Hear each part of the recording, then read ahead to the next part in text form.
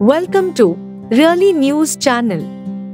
PM Narendra Modi will get vaccinated for COVID 19 in the second phase of vaccination drive, as per reports. Chief ministers will also be vaccinated for coronavirus in the second phase, reports added. In the first phase of the world's largest vaccination drive, rolled out on January 16th, healthcare workers were vaccinated across states and union territories.